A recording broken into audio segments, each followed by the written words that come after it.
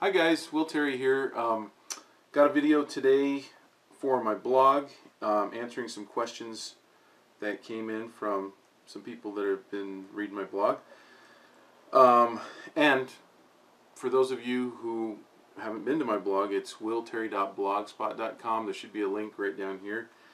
And um, that's where you can catch up on all the, the stuff that, that I have going on right now. Um, so I'm just going to answer these questions one at a time. And this is blog post from Sunday, June 30th, 2013. What questions do you have? So the first one is from Guy, and he says, when are we going out to lunch? And we did. Thanks, Guy. And then um, the next one's from Evil Robot, wondering if you had any advice or tips on lighting an image and how the brightness of an object can change depending on material or color. That in and of itself is a great question, and that would take a long time to really try to delve into, and I'm not even an expert on that. Um, but that could be like a YouTube video, kind of like a demo thing in Photoshop. But what I do, I think the thing that, that might help the most um, is whenever I want to light something, and I, I, I try to visualize in my mind what I want it to look like.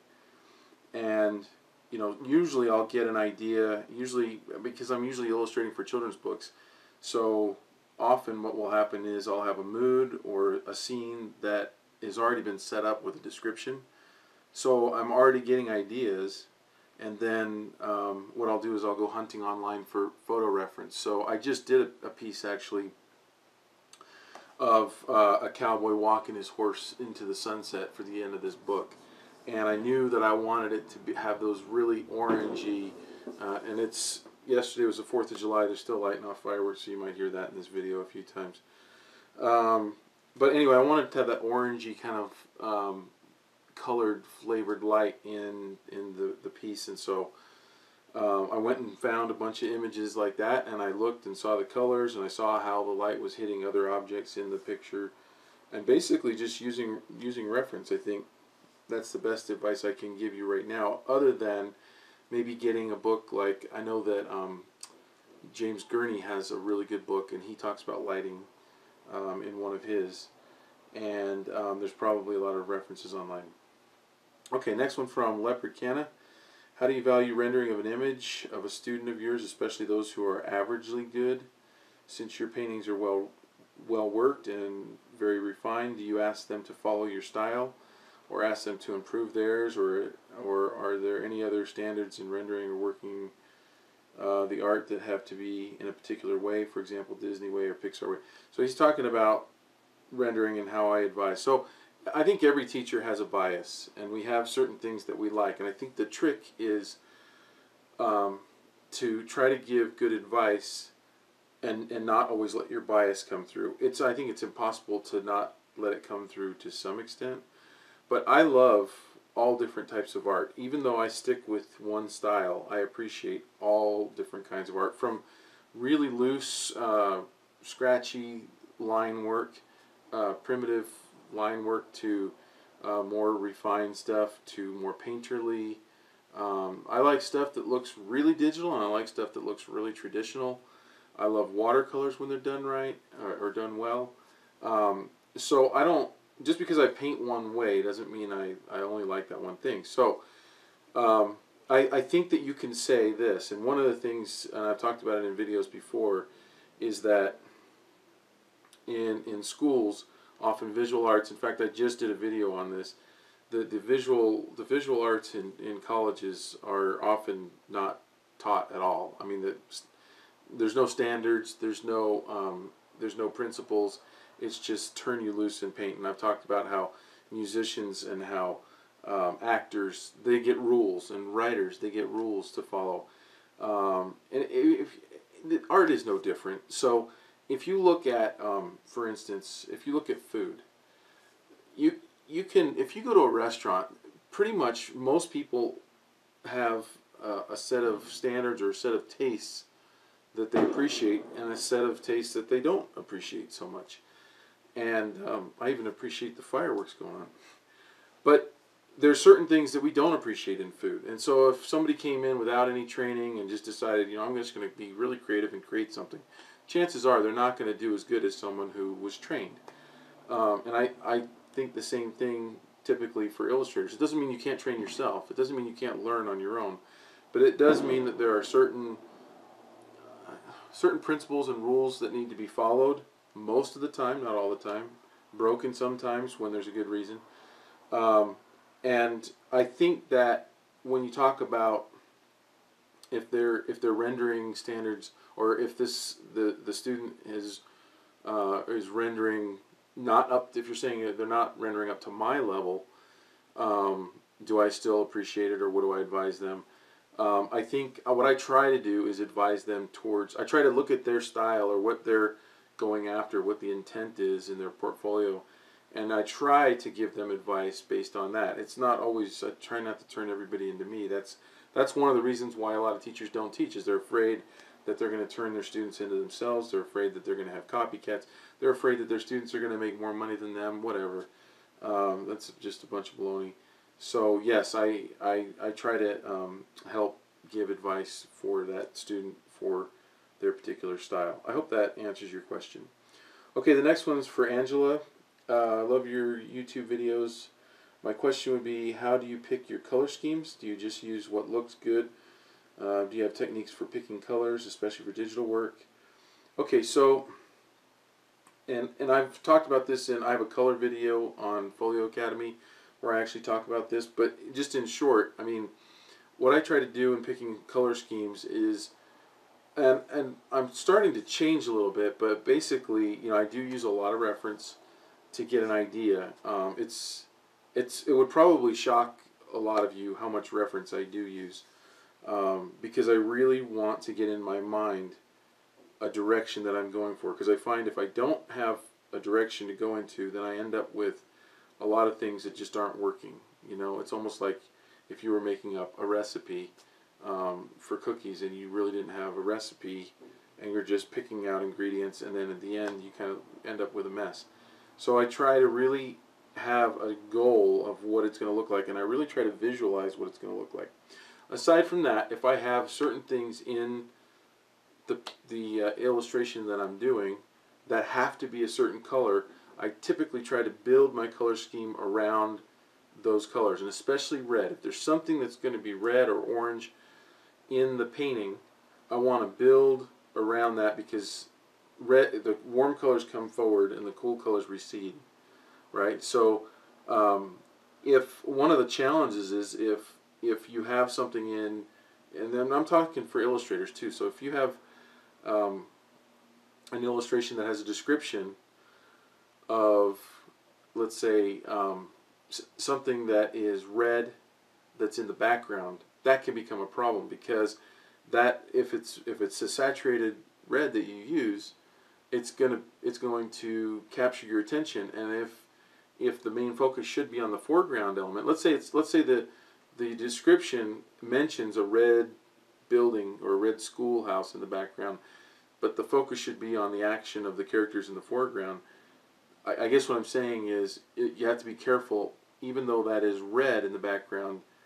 Um, that would be a situation where that red is going to try to jump in front and take center stage, or try to grab your your your focus uh, because the red will have emphasis if you if you oversaturate it. I'm I'm probably making this more complicated. But but basically, if you if you have certain things that have to be a certain color, um, let me give you an example. What you wouldn't want to do. You wouldn't want an object that has to be red in, in your picture, like an apple or something, or uh, someone's shirt, and then you wouldn't want to then pick a different red, another red that's not the same red, just because you decided to put another red in there a lot of this question probably goes to color harmony.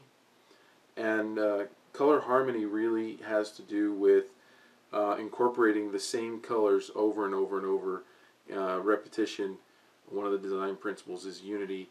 So you want to have um, you want to have color, the same colors repeating throughout, either in spots or actually mixing in with the other colors. Um, and if you're struggling with color, I would suggest trying to use a triad which is to pick a red, a yellow, and a blue. It could be, green could be your yellow, uh, purple could be your blue, and orange could be your your warm color, your red.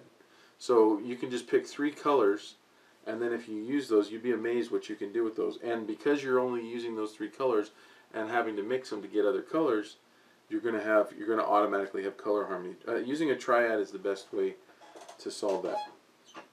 Okay. Um, let's see. And then Lori asks, uh, let's see. Uh, okay, so she has a really technical question about scanning, um, getting shadows and stuff with her traditional pencil work um, when she goes into Photoshop. These guys were not lighting off anything when I decided to make this video tonight. It's hilarious how you can make things like that happen. Um, I'm going to defer and say and not try to answer a question that I'm not an expert at. I, there's nothing worse than getting directions from somebody who really doesn't know the place that you're trying to get to, um, and then they lead you on a wild goose chase. So I'm not going to do that. I would suggest though that you try to, if you're on Facebook, try to join the. There's a group called Illustration, and that's all it is. It's a it's a it's not a private group. It's an open group. It's called Illustration and if you put that your same question out there, I'll bet you somebody would know um, how to help you with that one. Or other online forums as well. Okay, and then Rebecca uh, says, uh, I am ready to begin marketing my art after getting it where I want it to be. I've never worked for myself before. Any advice you can give um, about being your own business person as an illustrator would be lovely. There's a lot of contradictory advice. Should one look for representation or try to do it all on their own? And that's a really good question. Now we got a fire engine that's going to come and probably help somebody that just got blown up outside. So it could get noisy. Um, you know, now I got to read this question again. Um, being your own business person. You know, now more than ever, and I and I've talked about this before.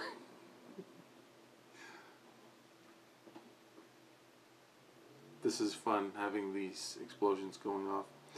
Um, now more than ever, we have the opportunity to use the internet, um, and representation, or using representation. Um, what am I trying to say? If let's say let's say um, let's say that the world of illustration started today. Okay, so yesterday or last week there weren't any illustrators. There weren't any freelance illustrators. But today, all of a sudden, illustrators started to come out of the woodworks and started to get jobs and stuff. What I'm saying is, I don't think, and and please, you know, feel free to contradict me um, if you have any differing differing opinions. But I don't think that we would have reps today if um, if we were starting the, the illustration world today with the internet. The reason that I say that isn't because reps aren't valuable, and isn't because reps don't do a great job, and isn't because they don't provide a valuable service. It's because I don't think they would ever get started because I don't think anybody or most people or enough people would feel like they needed them because you can contact and you can find people anywhere online um, and you can it, it's i mean the, the, the whole idea of the rep was you know you're in one city or one town somewhere and the rep is in new york or la and you can't be there to show your portfolio so they take your portfolio around and the, the reps doing things online now has really has really basically become uh, an extension of what they were what they really started out being valuable doing. Um, and I, I, really, if you know, if any of my reps or friends that are reps or are watching this, please don't don't feel like I think that you're not valuable and that you don't provide a great service for your illustrators. All I'm really saying is I think that right now, if you're um, if you're motivated as an illustrator, you you can do it on your own. You know, you really don't need someone else to help you. And I think the biggest danger of getting someone else to help you is that one, you're going to leave a lot of eggs in their basket, and if they don't come through, and you're sitting there waiting. And if they do, are able to get work for you, if something goes wrong with that relationship, which is exactly what happened to me with one of my reps, it really put it really crippled me when I left that rep because I had to kind of start to scramble and start to to, to create contacts um, with with former um, contacts and also get new contacts and new clients on my own. Um, I think right now there's really no excuse to not do it on your own. Um, it's it's hard work, but it's work that can definitely be done. And um, I, I'll tell you right now, reps are having a hard time right now. So, okay, um, I hope I answered your question. Okay, so this next one comes from Teresa, and um, she says, "What do you recommend to keep one's drawing skills sharp and develop them into their highest potential?" Um, and one answer that you're going to hear over and over again that I totally agree with is to draw constantly, to draw every day, and that drawing is a muscle and that you get better with drawing. Now, a lot of people will say, well, I draw a lot. And I'm talking about like a lot. Like you really, really love drawing and you love it so much. Like what you'll find is you'll, if you look at the people that, if you're on Pinterest, the people that you're pinning, if you look at the blogs that you go to, if you look at um, the illustrators that you follow, that you love, I would be willing to bet anything that the ones that you're following probably love drawing more than the ones you're not following, or the ones that you don't like, or the ones that you find a problem with their work. Um, and I would, I would, I would say that for well, I, I, know this to be true for me. The people that I that I love, uh, the, the, the the illustrators' work that I follow the most, they're the people that just love drawing. They're going to do it whether they're getting paid or not. Uh, they always have a sketchbook with them. Um, and maybe that's another thing I could say is what can you do um, to, to help your drawing skills. I made a commitment about, think it was maybe six or seven years ago, that I would never leave home, maybe longer. I would never leave home without a sketchbook, ever. Even if I'm just running down to the corner store um, to get a medicine for, for my wife or my son or something. I mean, I, I'm going to take, and now I take my iPad. But what that's done is sometimes you're out and something happens, you end up having to wait. End up with some down, downtime. If I go to my in laws, I take my sketchbook wherever I am. I literally never, ever, ever leave home without it. And what that does is it just gives you that much more time, time that you didn't even plan on where you could be drawing. I'm going to go backpacking um, next week, and I'm taking a sketchbook with me. Um, so, drawing, drawing, drawing. And another thing I would say is something to work on is if you struggle with drawing the figure, you need to break it down into simple shapes more. Um, and um, and one one exercise that you can do is everybody knows what a tuna fish can looks like, the, the size and proportion. So, you know, if you draw a tuna fish can and it looks like it's that tall, then it's out of proportion. Or if it looks like it's that skinny, you know, and it's, it's this big and it's this skinny, like a plate, then it's out of proportion. Everybody should be able to draw a tuna fish can. Once you can draw a tuna fish can over and over and over again, you ought to be able to draw it at any angle, turned this way, that way, that way in your sketchbook over and over and over tuna fish cans, looking down on them, straight down on top, looking up underneath them, and every angle you can possibly conceive of. You should be able to do that in your sleep. Once you can do that, you can move on to more complex shapes. Once you can do that, then you can move on to taking the human figure and doing the same thing and breaking it down into shapes. And that's something that I think those are exercises that um, if you just do them over and over and over, you can't help but get better. Okay, and then a question from Terry. Uh, let's see. Okay, so she's talking about style and and really trying to, and I don't want to read the whole thing because it's pretty long, but if you go on my blog, you can read hers. Um, she wants to know, you know, how how you get your style basically. Um, I'll read the last part here. I know you covered some of this in your SVS class about being known for something expression, value, color, architecture, etc. But in a broader sense, how can we identify that style and polish it? Also, if you do have more than one style, how do you build an online portfolio around that? Should you really just stick to one niche? Um, I'm a I'm a big fan of the one style. Um, I don't know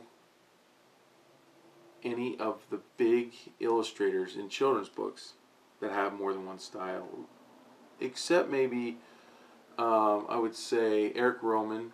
It might be an exception, and there's, I'm sure there's others. And um, but you know Eric Rohmann, one of the things that he'll do is he'll attack a book and and try to come up with a new style for each one. He won the Caldecott for My Friend Rabbit, and he does a really good job with it. It's I don't understand how he can do it, but he does. But I would say most illustrators, you know, if you think of Chris Van Allsburg, bing, a light goes off and you get an idea of what their drawing style is like. If you think of Lane Smith, bing, you know, you you know, you get a feeling for the style of art. Um, if you if you think of uh, a Dan Santat, you know what it looks like right away. And I think that there's something to be said for that. Just like eh, actors, you know, actors, um, you know, some of them are character actors, some are, are method actors, um, you know. But if you think of, um, you know, think of Steve Buscemi, you pretty much know you're going to get the goofy guy, right? Um, you know, and if you think of, um, uh, who's another good actor? I mean, just the, the idea that, um, you know, they, they get known for a certain body of work and you can count on them to bring that to the table. And I, I think that that's, um, for me, I think that's the way to go. Now, other people have other um, opinions on that, and that's fine. And there are other people that have done some amazing things with, with different styles, but uh, I think to make it, to have your best chance of making it to you know big, I would say have a style that people can count on. Now, to attack the how do you get that style, I think that one of the things I, I, I, want you to know when I, you know, a lot of my students are like, man, I can just see your style come out. I want you to know I don't. I do not see my style. Um, I, I draw things the way that makes sense to me, and I'm not trying to style things out so much. In the beginning rounds, I was. In fact, I had a teacher that, that, that said when I was really struggling with style, and I thought it was really good advice, and he said, um, you know, develop a visual vocabulary for all kinds of objects that you draw. So, in other words, what does a Will Terry tree look like? And I'm like, hmm, I never thought about it like that. Well, what would I want a Will Terry tree to look like? And I, I started drawing trees, and I was like, oh, it'd be fun to do this. And it, it almost it freed me up to to experiment and to make my tree, not to draw it the way that I thought it should be drawn, but the way that I would want to see it. I think I, I think that was really good advice for me because from then on I started going, well, how would I draw a barrel? How would I draw um, a flower? How would I draw a house? How would I draw a person? You know, how would I draw a dog? And um, I think things started to just kind of click. Um, and I, I really do believe, and this is another thing that you'll hear over and over from different teachers, uh, il illustration teachers is you should not worry about style. That if you if you're worried about figuring out your style, it means you haven't drawn and painted enough. And I I don't want that to sound harsh to anybody, um, but I think it's true. I think that um, I think the more you do something, the more your personal style will come out. And I think there's no other possible way for it to happen other than over time you emerge. I think you already have your style. I think it I think that what happens is you have to get and I've said this before, you have to get all your enough bad drawings out so that the good ones start coming in. They're starting to ramp up now. I feel like they're aiming them at my house, like someone knows that I'm making a video right now. Um, so, yeah, so that's it on, on style. Is you got to get those bad drawings out so the good ones can really come. The bad paintings over and over. You know, if if I could show you, and I I burned and I threw away a lot of, I mean, tons and tons of tons of bad paintings. I have done uh, at one count, and these were physical paintings, well over 2,000 illustrations for clients. That was client work, over 2,000.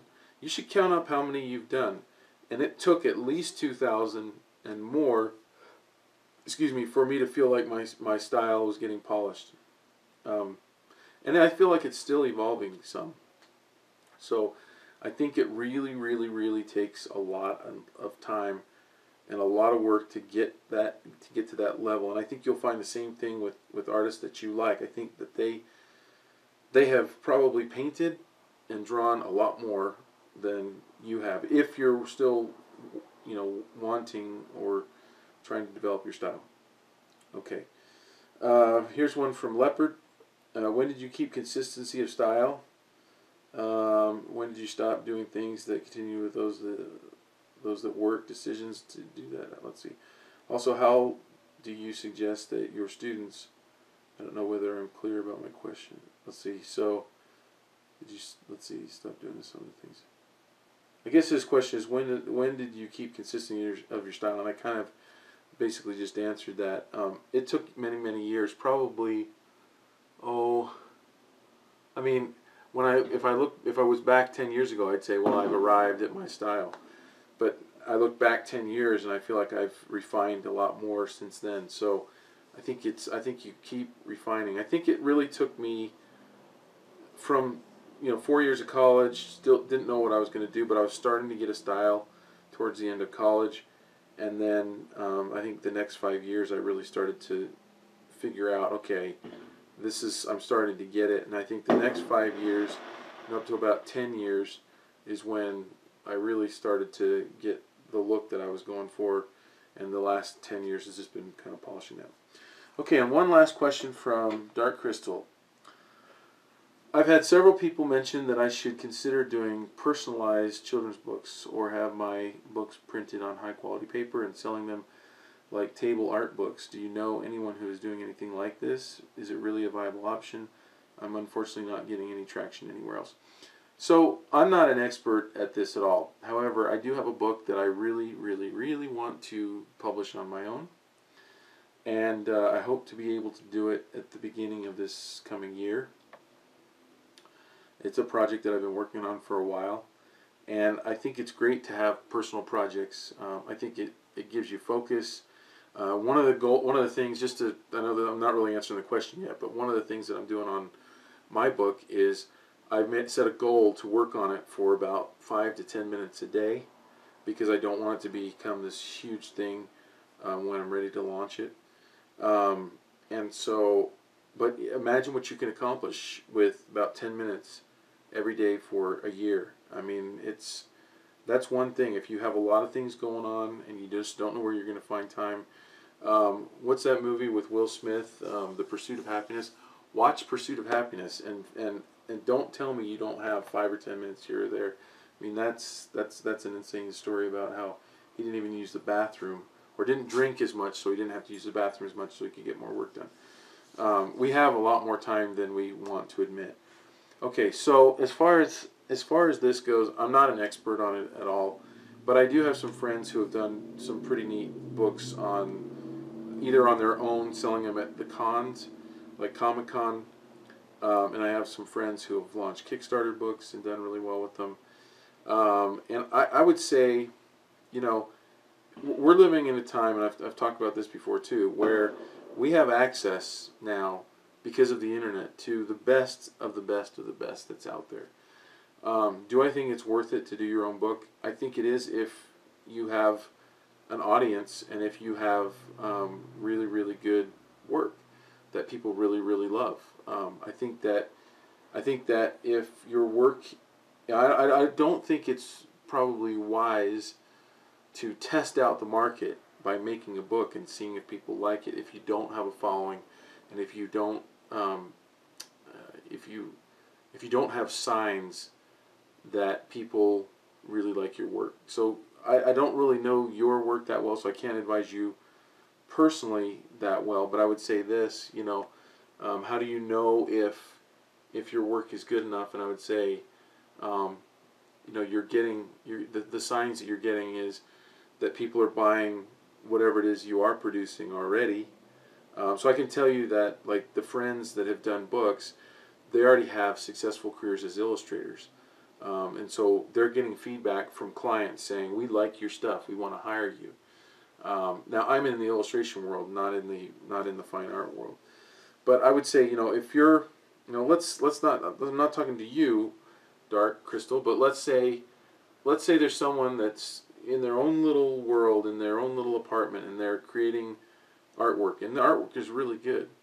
But let's say they they're not online at all. They're just they're completely you know closed off, and they they don't go on Facebook, and they don't go on Twitter, and they don't have a blog, and they don't go on Instagram or Pinterest or any of these other um, social media sites and they don't have a website. So nobody knows about them, but they're doing really good work. And then they make a book. I don't know really how they would sell that book. That's one option that I think would fail. The artwork could be really great, but there's no microphone to get that out. On the other hand, let's say that they're always on Facebook and always on Twitter and always blogging and always doing all these things, but the artwork isn't amazing, uh, then they can tell all the people they want about this book that they're producing. But if the work isn't amazing, then it probably won't sell either. So they really both have to be there. I think that if you're going to err on on being weaker on one thing than another, I think you can definitely afford to be weaker on social media and be weaker on with your online presence. Not to be non-existent online. Don't confuse it with that. But let's say you have a person who is spending, you know, three or four hours a day working their social media. That's probably excessive. That's way excessive. Um, and then let's say you have somebody that's only working, you know, a half an hour a day on their social media, but their artwork is just amazing. I think that they could do fine um, by announcing a book. If you look at um, look at the art of Brahm, Brahm's Kickstarter. I mean, he his book sold out the first printing. I think. I think he's on his second printing. Um, I know my friend Jake Parker sold out his first book, Antler Boy, and he just raised sixty thousand dollars on Kickstarter for his second book, uh, drawings um, by Jake Parker. And there's a bunch of others that have done really really well like that. But again, I think it comes down to a combination of social media and work that people really really really like. Um, so I think that without knowing what you're actually doing, I can't really give you good advice on that, other than to, to kind of weigh those things out. Um, and I would I would counsel against you know asking people um, online and saying, hey, if I made a book, would you buy it? Because a lot of people would say, yeah, I'd buy it. But the only real way to know is if is if people vote with their wallets, you know.